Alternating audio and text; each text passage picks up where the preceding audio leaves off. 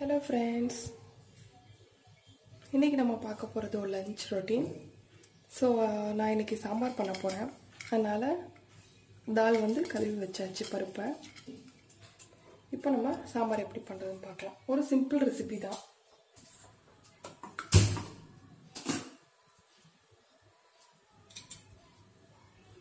தேவையான தண்ணி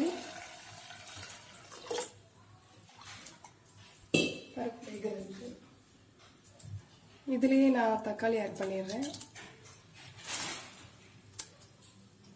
கொத்தமல்லியும் இதுலேயே ஆட் பண்ணிடுறேன். ஆனியன் ஒரு பெரிய சைஸ் வெங்காயம் எடுத்திருக்கேன். ரெண்டு பச்சை மிளகாய். எல்லாத்தையும் போட்டுட்டு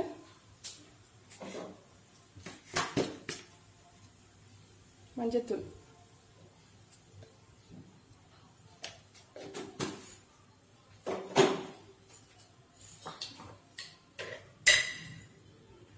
சாம்பார் பொடி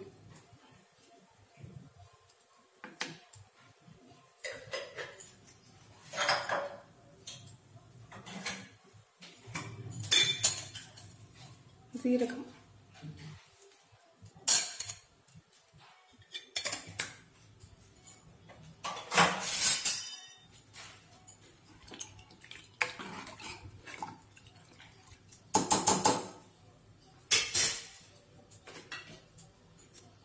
கொஞ்சம் ஆயில்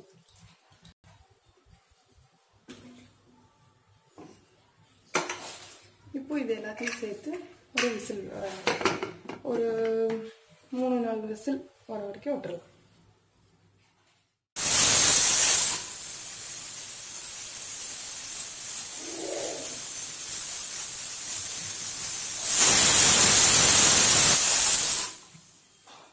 விசிலுக்கு அப்புறம் ஆஃப் பண்ணியிருக்கேன் ப்ரெஷர் ஃபுல்லாக அடங்கிடுச்சு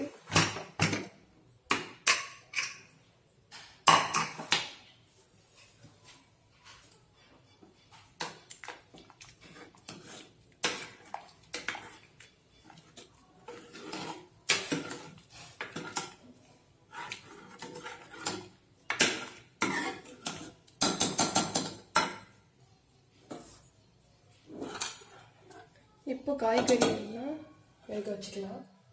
அதை வேக வச்சு பருப்பை இதில் சேர்த்துடலாம். அவ்வளோதான் சிம்பிள் சாம்பார் ரெசிபி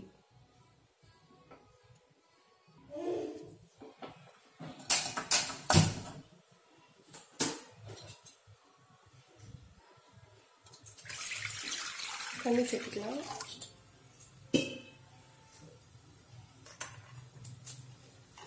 இதில் நான் நிறைய காய்கறி எடுத்திருக்கேன். முருங்கைக்காய் கத்திரிக்காய் முள்ளங்கி கேரட்.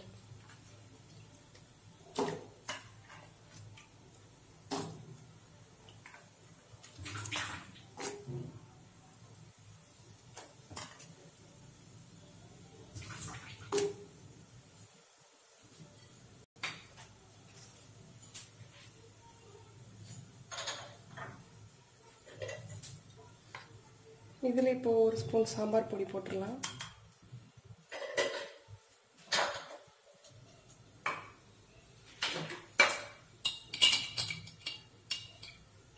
காய்கறி வேகிறதுக்கான உப்பு.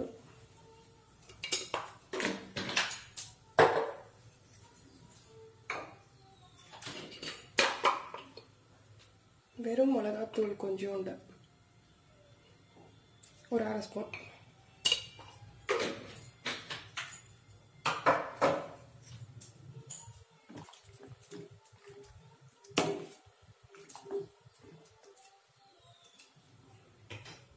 இப்போ காய்கறி வேகட்டும். மூடி வச்சு வேக வைக்கலாம்.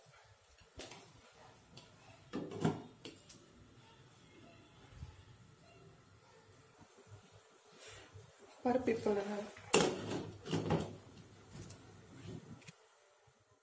வெஜிடபிள்ஸ் நல்லா குக் ஆயிடுச்சு.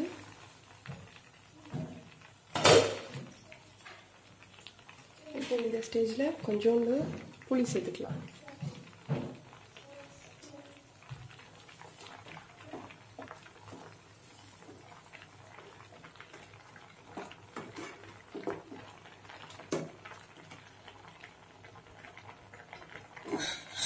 இப்போ தால் வேக வச்ச பருப்பை இதில் சேர்த்துடலாம்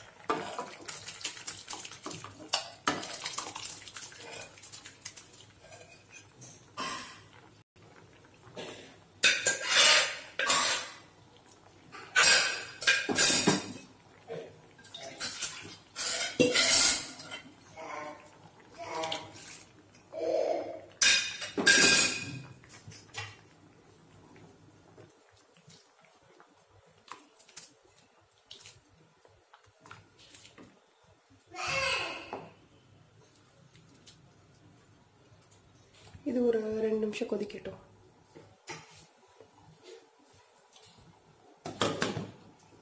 இது கொதிக்கிற நேரத்தில் சைடில் நம்ம கொதிச்சிட்ருக்கு நம்ம இதில் இப்போது தாளித்து கொட்டிடலாம்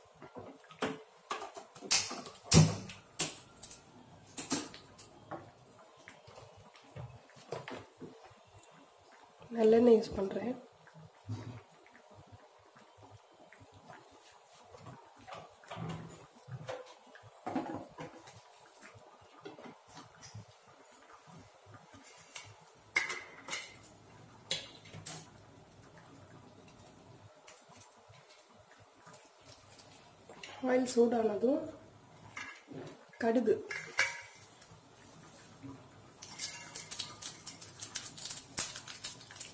இது வந்து வெங்காயம் வடகம்.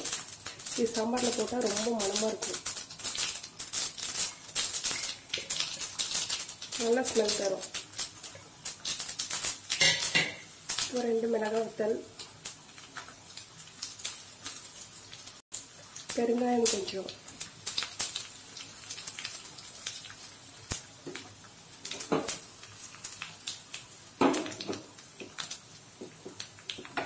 கருவேப்பிலை இல்லை. வேணும்னா கருவேப்பிலை சேர்த்துக்கலாம். கருவேப்பிலை சேர்த்தா நல்லாயிருக்கும். நல்லா பொரிஞ்சிருச்சு. இப்போ இதில் ஆட் பண்ணிடலாம்.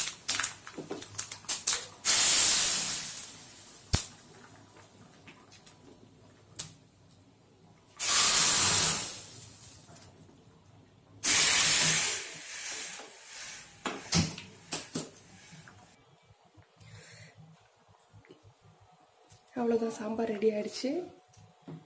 இப்போ நீங்கள் உப்பு டேஸ்ட்டு பார்த்துக்கோங்க நம்ம காய்கறி வதக்கும் போதே வேக வைக்கும் போதே உப்பு சேர்த்துருக்கோம். வேணும்னா நீங்கள் சேர்த்துக்கோங்க டேஸ்ட் பார்த்துட்டு என்கிட்ட கொஞ்சம் தேங்காய் இருக்குது அதை நான் சேர்த்துக்கிறேன். சேர்த்தா நல்லாயிருக்கும். இல்லைன்னா ஒன்றும் ப்ராப்ளம்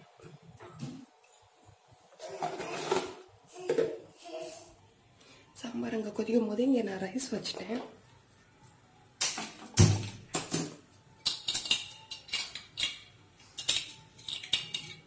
தேவையான உப்பு சேர்த்துக்கலாம். ஒரு ரெண்டு விசில் வர வரட்டும். இப்- இப்போ நம்ம சாம்பாருக்கு சைட் டிஷ்ஷாக பொட்டேட்டோ ஃப்ரை பண்ணிக்கலாம். பொட்டேட்டோ மசால் இப்போ கடலை எண்ணெய் ஊற்றுறேன் எண்ணெய் சூடானது கடுகு.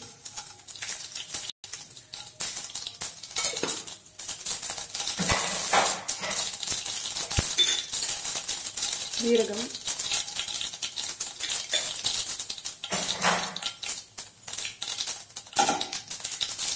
வெங்காயம்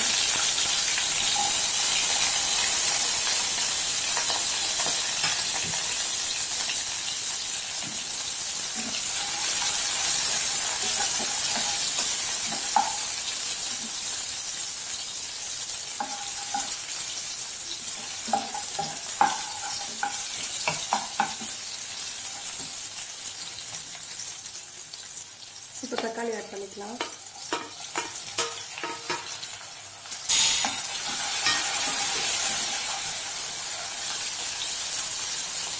இஞ்சி பூண்டு பேஸ்ட்.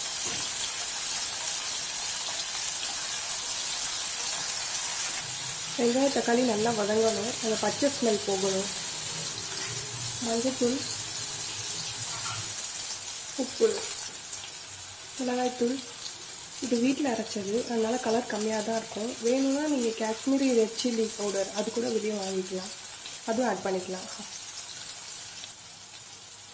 கறி மசால் ஹாஃப் டீஸ்பூன் போடுறேன். சும்மா ஒரு ஃப்ளேவருக்காக தான். இது எல்லாத்தையும் வதக்கிக்கலாம் நல்லா கருக விடாமல் ஒதுக்கணும்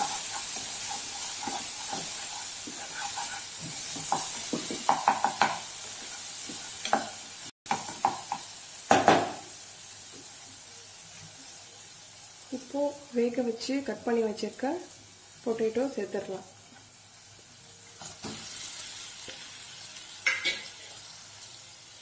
நான் இப்போ பெருங்காயம் சேர்க்குறேன் இதில். எப்பவும் உருளைக்கிழங்குல பெருங்காயம் நான் சேர்ப்பேன். அது ஒரு சேர்த்தாலும் ஓகே சேர்க்கலாட்டியும் ஓகே சேர்த்தா ஒரு தனி ஒரு ஒரு ஒரு வேறு டேஸ்ட்டு தரும்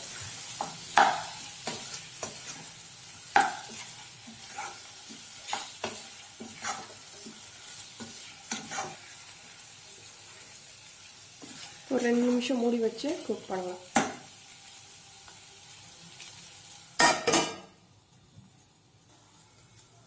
இப்போ ஓப்பன் பண்ணி பார்க்கலாம்.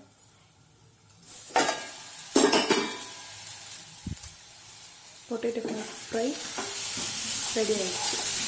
பொட்டேட்டோ ஃப்ரை பொட்டேட்டோ மசாலா எப்படி வேணால் சொல்லலாம்.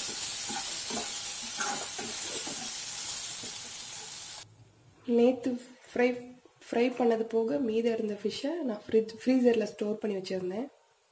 அதை இப்போது பொரிச்சுக்கலாம் சாப்பிடும்போது பொரிச்சுக்கலாம் இதுதான் என்னுடைய simple lunch routine sambar potato fry fish rice தயிர் இருக்குது வேணும்னா அப்பளம் பொரிச்சுக்கலாம் தேங்க்யூ ஃப்ரெண்ட்ஸ் இதுதான் என்னுடைய ஃபர்ஸ்ட் லஞ்ச் ரொட்டீன் பிளாக் இது உங்களுக்கு பிடிச்சிருந்துச்சுன்னா லைக் பண்ணுங்கள் ஷேர் பண்ணுங்கள் கமெண்ட் பண்ணுங்கள் தேங்க்யூ இதில் நான் ஏதாச்சும் மிஸ்டேக் பண்ணியிருந்தேன். ஏதாச்சும் நான் மாற்றிக்கணும் அப்படின்னா எனக்கு கீழே கமெண்ட் பண்ணுங்கள் தேங்க்யூ